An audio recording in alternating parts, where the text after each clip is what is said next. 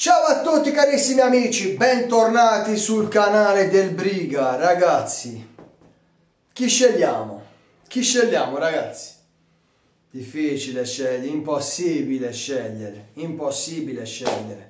Sono qui in mezzo a due leggende, sono in mezzo a due persone che hanno fatto sì che il sottoscritto diventasse rosso-nero a vita, rosso-nero nel sangue, rosso-nero proprio nel DNA, proprio quando te lo tagli dove gli è su DNA, bello tutto atterciuggetti, il rosso da nava nel merdo alto, sto non catanete che non capisci, mamma mamma, Marco Van Basten e Franco Baresi, Marco Van Basten e Franco Bari, Frankin che la Coppa Man, una delle tante coppe dei campioni che voi altri non vincerete manco c'ha vita cambè 150 anni di più. Toto, to traccio pod carnaval, carnaval, visto che siamo in tema carnaval. Allora ragazzi, oggi vi voglio parlare di tre cose. Prima di buttarci, prima di buttarci capofitto, anima e corpo sulla partita, nella partita contro il Tottenham, Uh, oggi che è domenica e la nostra partita l'abbiamo fatta venerdì vi voglio parlare di Rafa Leao. E quel che concerne il rinnovo di Rafa Leao. Ve ne parlo subito e vi dico la mia. Vi voglio parlare velocemente della Coppa Intercontinentale vecchia Coppa Intercontinentale diventata ahimè mondiale per club vinta da Carlo Ancelotti a cui vanno i nostri ovviamente complimenti perché Carlo resterà sempre un pezzo di cuore. E, uh, e che altro voglio parlare di Frank che sì? Dolcis in fondo di Frank che sì. Inizierei inizierei perché prima le cose belle brevi veloci e poi entriamo nel discorso Rafa Leao allora per quanto riguarda il discorso Coppa Intercontinentale io voglio capire, ma questo mondiale per club è un fallimento a 360 gradi. Ormai penso che sia una cosa abbastanza evidente. Dobbiamo renderci conto che a volte non dobbiamo necessariamente guadagnare, fare più partite possibili per fare più soldi, per avere più sponsor, più introiti, più questo e più quest'altro. Si parla spesso anche di qualità di partite, si parla spesso anche dei giocatori della salute, dei giocatori che in effetti fanno 50-60 partite all'anno. E quindi ragazzi, il mondiale per club, ma mi dite con tutto il rispetto, che cosa significa vedere una finale Real Madrid al Hilal? Ragazzi, il Real Madrid contro l'Al Hilal non sarebbe una partita nemmeno di Serie C spagnola cioè ragazzi abbiate pazienza, ok? Il calcio è del, del, del mondo, del popolo, tutto ciò che vogliamo, ma poi arriva un certo punto che la migliore squadra europea incontra la migliore squadra sudamericana perché da sempre i migliori giocatori, le migliori squadre stanno in Europa e in Sud America. Abbiate pazienza voi, voi dell'Asia, voi dell'Africa, voi... De io capisco tutto, però una finale di Coppa Intercontinentale di una volta, che ti dovevi svegliare alle 3 di notte, la partita direttamente giocata a Tokyo o a Yokohama, in zone ovviamente, diciamo, a metà della distanza tra Europa e Sud America, si andava a giocare lì, ti dovevi svegliare di notte, bella con la tromba in all'orecchio della, della, della cinese, della giapponese, tutta la partita, queste inquadrature che parevano venire dal, dalla luna e non dalla, dal, da, dal resto del mondo. Una roba bellissima giocare contro una squadra sudamericana che di solito era argentina oppure brasiliana, a volte colombiana cioè ragazzi, quella è una partita secca dove ti giochi tutto, dove tutto può succedere. C'è sto mondiale per club, queste squadre dove canandene manca la terza categoria, ragazzi. Finale di Coppa Intercontinentale, Real Madrid al Hilal 5 a 2, 5 a 3. Ma che roba è? Sì, ma facciamo un passo indietro, cerchiamo di rendere le cose più belle, più... Cioè, ragazzi, cerchiamo... Ma voi non so se avete... Io sono legato a dei ricordi indimenticabili. Io mi ricordo ancora il giorno, io mi ricordo ancora il giorno che praticamente ero, ero un bambino. Mi svegliai perché evidentemente sentì qualche qualche parola di troppo di mio padre dalla cucina, che ovviamente cercò di fare silenzio visto l'orario, ma evidentemente dopo 120 minuti di partita, al gol di Chicco Evani, eh, evidentemente forse esplose, io mi svegliai, andai in cucina e mio padre mi mise vicino e disse Assit Andrea, Assit, come on, ma segnete. Come on, ma signori, erano all'incirca le 5, le 4 e mezza, non ricordo esattamente che ora, che ora potessero essere. Certo è che il Milan eh, era appena passato in vantaggio con Alberigo Evani, ok? Con Chicco Evani, dopo una partita interminabile, infinita, uh, vinta contro il Nacional di Medellin, se non ricordo male. 1 a 0, Ighita in porta, cioè questi sono i ricordi Ok, nessuno mai si ricorderà della partita del Real Madrid contro l'Al-Hilal, ragazzi. Scaffatavi in zavacche. Il calcio è emozione. Rendiamoci conto di questo. Non è solamente giro di soldi. A volte bisogna fermarsi e fare un passo indietro. Volevo essere un pochino più breve, però mi è venuto in mente questo ricordo stupendo di mio padre, che saluto. Poi, ragazzi, poi... Uh,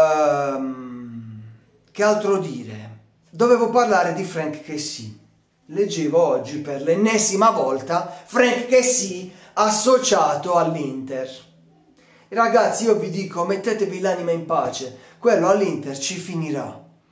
E sinceramente non me ne frega un beato minchia, non, non, non mi fate essere... Non, non me ne frega un cazzo, non me ne frega un cazzo. E sapete perché?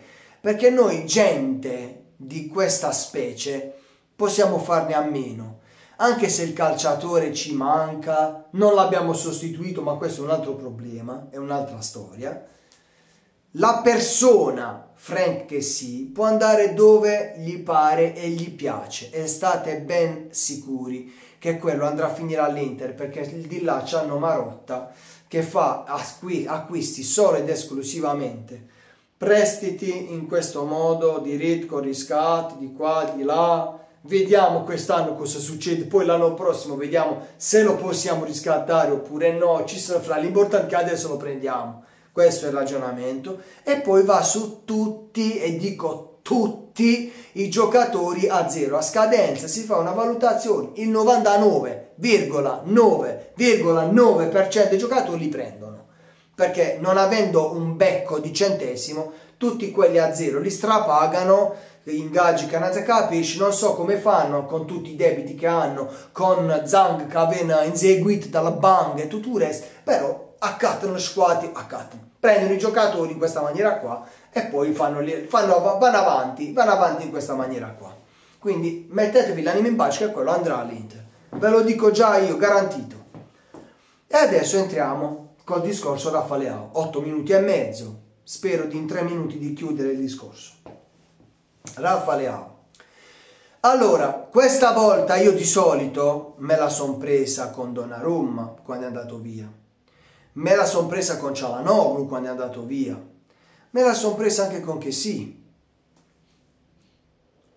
Questa volta io non me la prenderò col giocatore e adesso vi spiego perché. Me la prenderò solo ed esclusivamente con la proprietà, non con la dirigenza, né con l'allenatore, né con le AO. Me la prenderò con la proprietà, con la proprietà. Al giocatore non dirò A, perché se noi AC Milan, campioni d'Italia in carica, non siamo capaci di accontentare un giocatore che in questo momento è stato il migliore dell'anno scorso, è stato il migliore, l'MVP di tutto il campionato italiano, giocatore che fa la differenza ad occhio nudo, a vista d'occhio, lo sanno tutti, giocatore imprescindibile perché noi abbiamo un gioco che praticamente se Rafaleao si addormenta noi diventiamo monotematici, tu non riesci ad dargli un,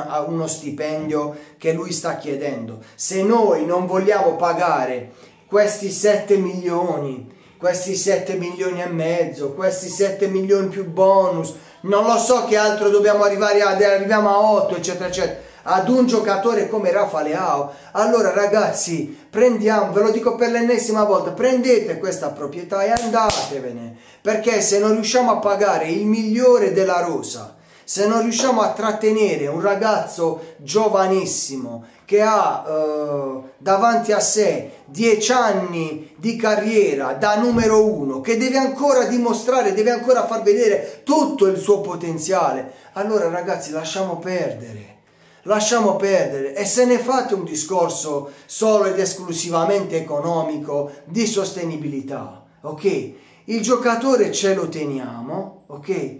E prendiamo qualcun altro che invece magari non li vale quei soldi, non vale un milione, non vale due milioni, non vale un milione e mezzo che gli diamo, eccetera, eccetera, si prendono questi giocatori, si fa meno di quei giocatori ma lui glieli dai quei soldi, ok? Se dobbiamo fare il bilancino, cerchiamo di mettere Rafa Leao sulla bilancia e dall'altra parte, se non siamo capaci di tenere tutta la rosa con questa cifra, prendiamo qualcuno e mandiamolo via. Ok, se abbiamo un budget che non dobbiamo sforare, un monte ingaggi che non dobbiamo sforare, noi a Rafa Leao glieli diamo quei soldi in più e glieli togliamo da qualcuno che non serve semplicemente questo, ma fare a meno di Rafa Leao per l'ennesima volta, dopo aver visto andare via fior fior di giocatori, questo sarebbe inaccettabile e ve lo dico per l'ennesima volta, questa volta il giocatore non c'entra niente perché lui merita quei soldi, potrebbe prenderli dove vuole, ne potrebbe prendere molti di più dove vuole, quindi se vogliamo che resti a Milano, dategli i soldi, pagatelo perché merita questi soldi qua.